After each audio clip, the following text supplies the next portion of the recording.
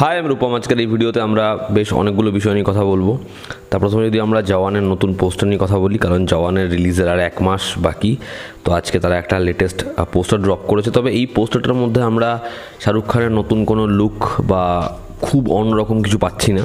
এখানে তার রিভিল হওয়া দুটো লুক একটায় যেটা তার পুরোপুরি বাল লুকটা রয়েছে, তার হাতে বন্দুক নিয়ে কয়েকদিন আগে সেটা রিভিল করা হয়েছিল। সেটা দেখছি এবং তার ঠিক ব্যাক সাইডে তার ওই পুরোপুরি মাম্মির মতো যে লুকটা পুরোপুরি ব্যান্ডেজ করা, সেই লুকটা দেখছি। তো দুটো লুক এই পোস্টারে রয়েছে। তো এখানে মেবি ডুয়াল রোলেরই ইন্ডিকেশন এই পোস্টারটা এবং আমার মনে হয় ট্রিপল রোলটা হবে না, কারণ অ্যাটলি তার প্রিভিয়াস ছবির মতো একই রকম কিছু বানাবে না এবং যদি ট্রিপল রোল হয় তাহলে হিন্দির ক্ষেত্রে সেটা একটু সমস্যাজনকই হবে। আর হিন্দির মূলত অডিয়েন্সের ক্ষেত্রে যাই হোক, তবে এই লুকটা মানে এই পোস্টারটা ডেফিনেটলি ভালো। বেশ ভালো লাগছে, কারণ এগুলো দুটোই যেহেতু রিভিল হয়ে যাওয়া বা আমাদের দেখে নেওয়া, তো এখানে আলাদা করে কিছু এক্সপ্লেন করার বা আলাদা করে কিছু সেটার ব্যাখ্যা দেওয়ার নেই। তবে খুব ভালো লাগছে। আসলে শাহরুখ খানের লুকগুলো জওয়ানে এত ভালো যে সেগুলো যখনই আসে দেখতে ভালোই লাগে। এবং আমার এক্সপেকটেশন এই ছবির পরবর্তী গানগুলো খুব ভালো হোক, এটা নিয়েই দেখার গানগুলো কেমন হয় তো জওয়ান নিয়ে তো সবাই খুব এক্সাইটেড আমিও খুব এক্সাইটেড দেখা যাক ছবিটা হয় কেমন, আর এক মাস এর অপেক্ষা জওয়ানের জন্য দেখার। আমরা যদি পরবর্তী বিষয়ে আসি, তাহলে লিওর একটা আপডেট বা লিওর একটা টিজার আসবে দু সপ্তাহের মধ্যে। ছবির যে প্রডিউসার সে স্টেটমেন্ট দিয়েছে যে খুব শীঘ্রই লিওর আরও একটা আপডেট আসবে। তো ছবির অন্যতম অভিনেতা অর্জুন, যার জন্মদিন পনেরোই আগস্ট, তো অনুমান করা হচ্ছে পনেরোই আগস্টে তার লুকটা লিও থেকে রিভিল হতে পারে বা তাকে নিয়ে একটা ইন্ডিভিজুয়াল টিজারও বানানো হতে পারে। দেখা যাক সেটা আসলেই মোটামুটি এই চরিত্রটা সম্পর্কে আমরা অনুমান করতে পারব যে সেটা কেমন।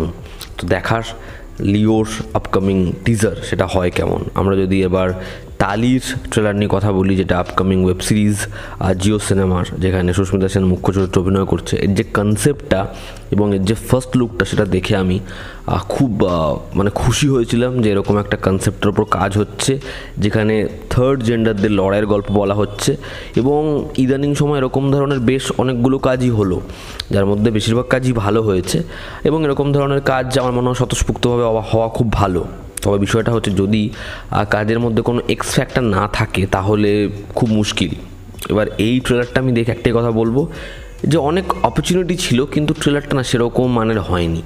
সুস্মিতা সেনকে দেখতে ভালো লাগে যখন ট্রেলারটা শুরু হয়, সেটার মধ্যে বেশ একটা হাই মোমেন্ট থাকে, কিন্তু তারপরে ট্রেলারটা যেন খুবই গ্যাদ গ্যাদে হয়ে যায়। মানে যে জিনিসপত্রগুলো যেরকমভাবে আসে, যেরকমভাবে সংলাপ, তার জার্নি তাকে সমাজ কীভাবে বারবার হ্যাটা করেছে, সে কি কি ফেস দেখে এসেছে এবং সে এখন কোন জায়গাটায় যাচ্ছে। তো এই যে প্রোটাগনিস্ট তার বিভিন্ন সময়, বিভিন্ন প্রতিকূল পরিস্থিতি সেগুলোকে দেখানো হচ্ছে। কিন্তু বিষয়টা হচ্ছে যা জিনিসপত্র যেরকমভাবে দেখিয়েছে, এগুলো আমরা অলরেডি দেখে নিয়েছি। এবং কোনো এঙ্গেজিং মুহূর্ত নেই, কোনো পাওয়ারফুল ডায়ালগস নেই। মূল কথা হচ্ছে এমন কোনো সিকোয়েন্স নেই যেটা আমাদের হিট করে। যে কারণে ট্রেলারটা আমার জন্য খুব বেশি ওয়ার্ক করেনি। তবে আমি এখনও এই শোটা দেখতে চাই যেহেতু সুস্মিতা সেন রয়েছেন। কারণ তার আরিয়া সিরিজটা আমার দারুণ লাগে হটস্টারের দেখা যাক এই শোটা কেমন হয়। মানে হয়তো ট্রেলারে তারা এরকমভাবে সব কিছু ডিজাইন করেছে। শোটা আলটিমেটলি খুব ভালো হলো। দেখার। কিন্তু আপনি বলুন, জিও সিনেমার আর কোনো কাজ কি আসুরের মতো হাইপ বা অডিয়েন্স আনতে পেরেছে? পারেনি কিন্তু। তো সব কাজ নিয়ে নিলেই হবে না? কিছু কাজ আমার মনে হয় বেছে ভালো নেওয়াই উচিত। দেখা তাদের আপকামিং কাজগুলো কেমন হয়। আচ্ছা এবার যদি আমরা কিছু আপডেটসে আসি দেব এক নামী পত্রিকাকে ইন্টারভিউতে জানিয়েছেন যে দেবের আপকামিং ছবিগুলো কি কি হতে চলেছে। আমি গতকালকে দেবকে একটা আপডেটও দিয়েছি। আর সেই আপডেটের পরে আবার অনেকে অন্য কোনো একটা চ্যানেলের দু, তিন দিন আগে দেওয়া একটা আপডেটের সাথে আমার আপডেটটা লিঙ্ক করে দিয়েছে যে আমি সেখান থেকে আপডেটটা নিয়েছি বা সেই আপডেটটা নিয়ে বলেছি। তো প্রথম কথা আমি একটা কথাই বলব যে আমার মনে হয় আমার এত খারাপ দিনও আসেনি যে আমি তাদের মতো চ্যানেলকে ফলো করব, তাদের থেকে আপডেট ঝাড়বো। এবং আমি গতকালকে দেব রাজ চক্রবর্তী যে আপডেটটা দিয়েছিলাম, সেখানে আমি অনেকগুলো বিষয় বলেছিলাম। ঠিক আছে? ট্রেনের ওপরে ফাইট সিকোয়েন্স সেখানে এই যে কয়লা, সেটা নিয়ে একটা স্মাগলিং হচ্ছে আন্ডারওয়ার্ল্ড কপ ইউনিভার্সের পার্ট একদমই নয়। এখানে দেবের ফিজিকের দুটো পোর্শন থাকবে যদি সে দেব মুখ্য চরিত্রে অভিনয় করে এবং সেটার জন্য একটা টাইম লাগবে। তো আমি অনেকগুলো দিক বলেছিলাম অ্যাকশন ডিরেক্টর বাইরে থেকে আনার কথা সাউথের ছবির ছাপ থাকবে না। মানে আমি যদি পাঁচ, ছটা পয়েন্ট বলি, সেখানে যদি একটা পয়েন্ট কোনো চ্যানেলের সাথে মেলে, সেটা নিয়ে কথা বলা হচ্ছে, কিন্তু বাদ বাকি আর পাঁচটা পয়েন্ট নিয়ে কথা বলা হচ্ছে না। ঠিক আছে, যাই হোক সেটা তাদের ব্যাপার। আজকে যে আপডেটটা সেটা হচ্ছে দেব নিজের প্রোডাকশন হাউসে আবার নতুন একজন পরিচালককে সুযোগ দিচ্ছে, এবং এই ছবির টাইটেল কি, ছবির ফিমেল লিড কি, ছবির প্লট কি, প্রেক্ষাপট কী সম্পর্কে আমরা কিচ্ছু জানি না। তবে দেব নিজে বলেছেন যে দেব একজন নতুন পরিচালকের সাথে আগামী দিনে কাজ করছেন এবং খুব শীঘ্রই হয়তো সেই ছবির অ্যানাউন্সমেন্ট হতে পারে।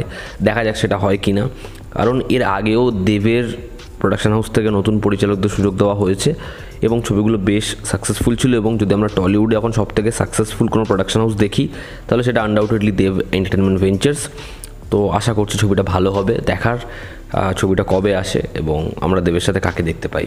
আজকের অন্যতম বড় যেটা আপডেট জুনিয়র এনটিআরের পরবর্তী ছবি দেবারা, সেখানে একটা অ্যাকশন সিকোয়েন্স প্ল্যান করা হয়েছে যেখানে এনটিআরের সাথে একটা শার্কের ফাইট সিকোয়েন্স থাকবে। যেটা অবভিয়াসলি আন্ডার ওয়াটার সিকোয়েন্স হবে এবং সেটা হচ্ছে এই ছবির মানে অন্যতম হাইলাইট পোর্শন এবং যেটার জন্য বেশ বড় অ্যামাউন্ট খরচা করা হচ্ছে। তো দেখার সেটা হয় কেমন এবং সেখানে এনটিআরকে দেখতে লাগে কেমন। শাহরুখ খানের কন্যা সুহানা খান তাকে বড় পর্দায় ডিরেক্ট করতে চলেছেন করণ জোহর। এটা একটা রোম্যান্টিক ফিল্ম হতে পারে এবং সেখানে তার ভাই মানে আরিয়ান খান, সে কেমিও করতে পারে। এমনটাই শোনা যাচ্ছে লেটেস্ট রিপোর্ট ওয়াইজ আমার মনে হয় করণ জোহরের ট্যালেন্ট দেখে তাদের সিনেমায় আনা উচিত নাকি তার এই ছবিটা আসলো। রকি আর রানি কি প্রেম কাহানি? সেখানে আপনি একটা গান আছে দেখবেন মানে খুবই বিরক্তিকর। ছবিটা আমার ভালো লেগেছে, আমি রিভিউ দিয়েছি, বেশ ভালো সিনেমা যা যা মনে হচ্ছে বলেছি। কিন্তু সেখানে জাহ্নবী কাপুর, অনন্যা পান্ডে, সারা আলী খান, সবাইকে রেখে দেওয়া এই বিষয়গুলো না খুব বাজে লাগে। এরকম তো অনেকেই আছে না? তো আমার মনে হয় যে তার যে জায়গাটা থেকে সে হেড পাচ্ছে, সেটা একটু বোঝা উচিত। যাই হোক, তো দেখা যাক সুহানা খান কেমন কী পারফরমেন্স দেয় এই ছবিতে। রকি ও রানী কি প্রেম কাহানি? এই ছবিটা হিন্দি বেল্টে মানে আমাদের ইন্ডিয়াতে খুব বড় হিট না হলেও ওভারসিসে কিন্তু খুব বড় সড়ো হিট হতে চলেছে। তার কারণ এই ছবিটা অলরেডি ওভারসিসে পঁচাশি কোটি পঞ্চাশ লক্ষ টাকা কামিয়েছে ওয়ার্ল্ড ওয়াইড দুশো ন কোটি পঞ্চাশ লক্ষ টাকা কামিয়েছে। এই ছবিটা ইন্ডিয়াতে নেট কালেকশন করেছে এখনও পর্যন্ত একশো পাঁচ কোটি আট লক্ষ টাকা। কারণ রবিবার দিন ছবিটা ডাবল ডিজিট নাম্বার তো এনেছেই। সঙ্গে সঙ্গে প্রায় চোদ্দ কোটির কালেকশন করেছে। এবং আজকের অন্তিম যেটা আপডেট বিবেক অবেরয় তাকে দেখা যাবে হিরো নাম্বার ওয়ান ছবিতে। হ্যাঁ hero number one Sara Ali Khan Tiger শ্রফের upcoming ছবি। সেখানে এমন একটা ক্যারেক্টার সে করছে, সেই ক্যারেক্টারটা অ্যান্টাগনিস্ট না তার চরিত্রটা কী সে সম্পর্কে একদমই ডিসক্লোজ করা হয়নি। এবং এই ছবির অ্যাকশন সিকোয়েন্স খুব বড় স্কেলে প্ল্যান করা হচ্ছে। সেপ্টেম্বর থেকে অক্টোবরের মধ্যে কুড়ি দিন এই ছবির অ্যাকশন সিকোয়েন্সের জন্য অ্যালট করা হয়েছে। দেখার এই ছবিটা হয় কেমন? তো এই ছিল আজকের কিছু লেটেস্ট আপডেটস ভালো লেগে থাকলে লাইক করো শেয়ার করো সাবস্ক্রাইব করো। রেড বাটনটা প্রেস করে অবশ্যই করো, জনতা আমাদের পাশে আছে। আবার দেখা হচ্ছে টেক